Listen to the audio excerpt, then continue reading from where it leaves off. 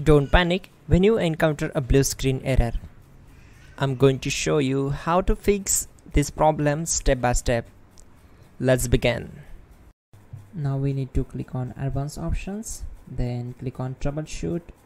Now click on advanced options and at the last we need to click on command prompt.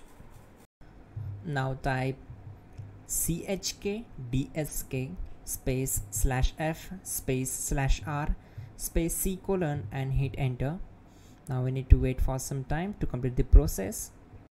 Now type c colon and hit enter. Then type cd space c colon slash and hit enter. Type in cd space windows and press enter now type cd system32 and hit enter. Now type cd space config and simply press enter to execute this command. Now execute this command carefully. Type in md space backup and simply hit enter to execute it.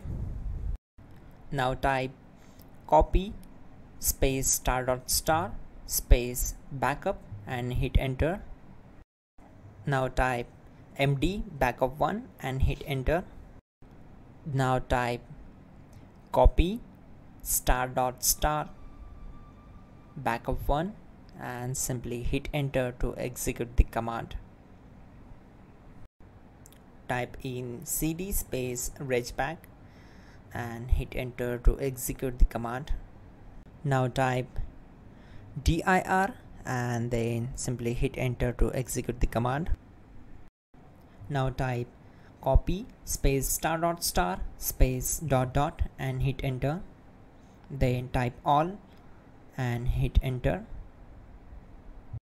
Now type bootrec space slash fix mbr and simply hit enter. Type bootrec space slash fix boot and hit enter. Now type in cd space c colon slash and simply hit enter to execute the command. Now type cd space windows slash system32 slash config slash regback and hit enter to execute.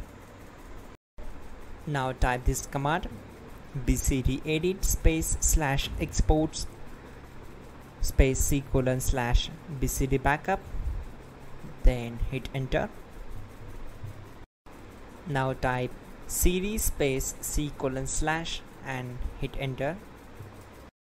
Now execute this command type md space boot and simply hit enter to execute this command.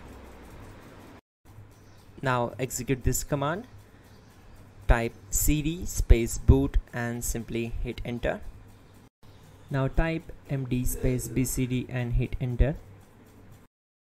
Now execute this command.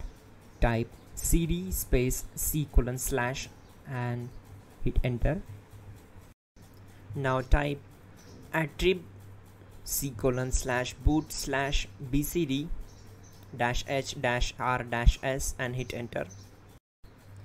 Now execute this command. Type ren space c colon slash boot slash bcd space bcd dot old then simply hit enter to execute this command.